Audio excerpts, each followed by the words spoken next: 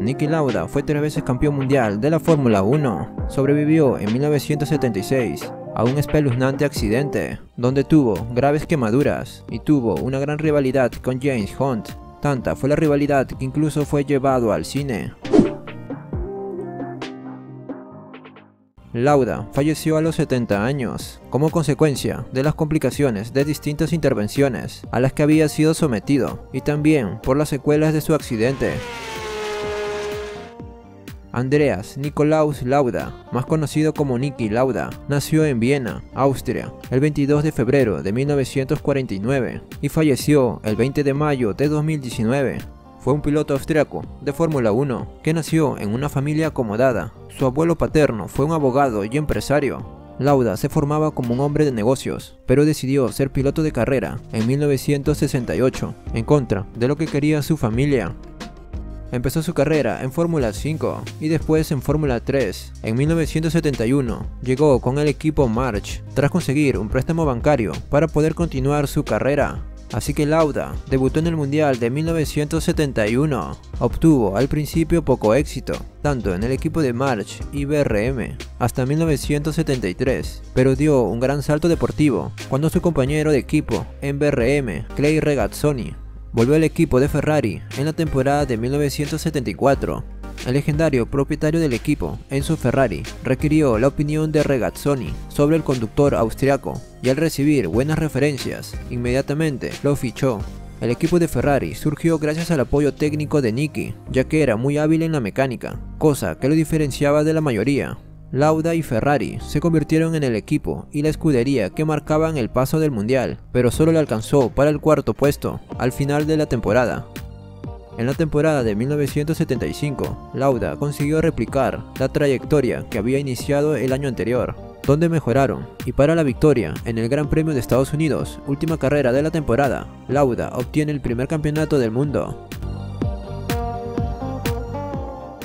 En 1976 fue la temporada más difícil para Nicky, ya que sufrió un grave accidente en el Gran Premio de Alemania, que le produjo graves quemaduras que le dejaron marcas de por vida. Pero una de las cosas por la cual se recuerda a Nicky es por la rivalidad que tenía con James Hunt, rivalidad que la tenía desde las categorías inferiores, como era la Fórmula 3, y que continuó cuando llegó a la Fórmula 1, donde James Hunt fue su máximo rival, hasta que en 1976 en la carrera del Gran Premio de Alemania, disputado en Nürburgring, Lauda sufrió un grave accidente, debido a que se demoraron en cambiarle los neumáticos en los pits, donde al tratar de alcanzar a James Hunt fuerza demasiado su auto. Debido a ese accidente, tuvo terribles quemaduras, ya que quedó atrapado por varios segundos. A pesar de ello, Nicky volvió a las pistas tan solo seis semanas después, y de no contar con la aprobación de los médicos, Nicky demostró una gran fortaleza al volver a la competencia, a pesar de tener el rostro quemado y sentir mucho dolor. Aunque al inicio de la carrera se sentía un poco abrumado, pero con el pasar de los minutos demostró que aún tenía la fuerza para seguir y que ninguna dificultad era motivo para abandonar la competencia. Nicky queda cuarto en esa carrera, pero es recibido como si hubiera ganado. Todas las personas corren a saludarlo y alentarlo. Mientras tanto, James estaba cada vez más cerca del primer puesto.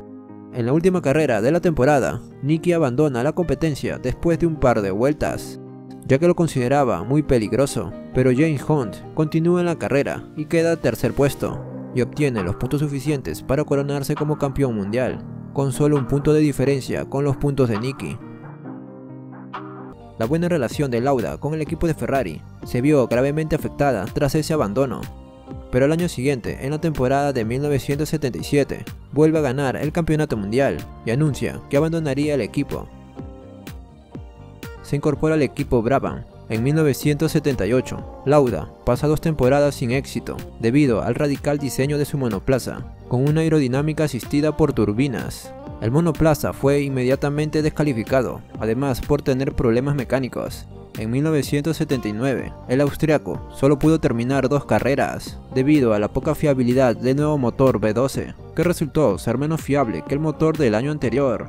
En el Gran Premio de Canadá, Lauda informó su deseo de retirarse inmediatamente, pues no deseaba seguir conduciendo. Lauda había fundado una compañía de vuelos charter, volvió a Austria para dedicarse a su compañía a tiempo completo.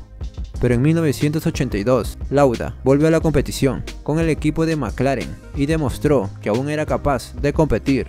Lauda consiguió el tercer campeonato del mundo en 1984 con una victoria sobre su compañero de equipo Alain Prost la temporada de 1985, Lauda, con 11 retiros de las 14 carreras, además debido a un accidente durante las prácticas, donde se rompió una muñeca, lo cual obligó a perderse el Gran Premio de Europa. Ese año se retiró definitivamente de las competiciones. Niki Lauda fue tricampeón del mundo en 1975 y 1977 con Ferrari y en 1984 con McLaren. Una vez colgado el traje de piloto, no se desvinculó de la Fórmula 1, fue asesor técnico de Ferrari desde 1995 y fue uno de los que más presionó para que la escudería italiana contrate a Michael Schumacher y a los ingenieros de Benetton, donde el piloto alemán había ganado dos títulos. Michael llegó en 1996 y ganó cinco títulos mundiales entre 2000 y 2004. Nicky después entra como director de Jaguar en 2001, donde permanece poco tiempo. En ese mismo año vende su aerolínea y después funda otra, y así pasa gran parte de su vida con su empresa. En 2010, Lauda colabora como comentarista de Fórmula 1. En el 2012, firmó como presidente no ejecutivo de Mercedes, es decir, una especie de gurú o cerebro de la escudería para los pilotos.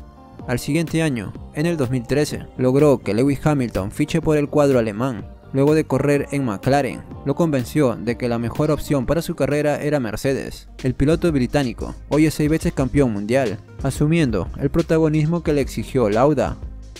Desde el 2012 hasta su muerte, fue asesor técnico y accionista del 10% de la escudería Mercedes.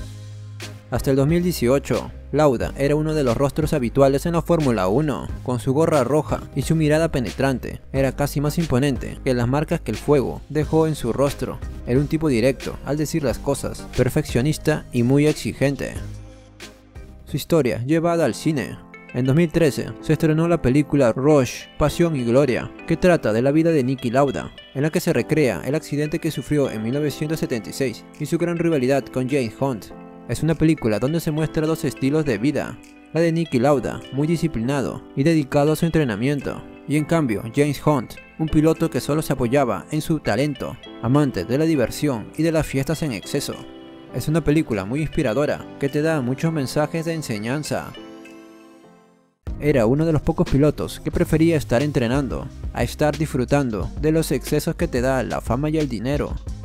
Nicky Lauda, un piloto muy talentoso, pero más que eso, muy disciplinado y considerado por muchos como un genio en la mecánica y en la estrategia. Si te gustó el video, no olvides suscribirte para más contenido.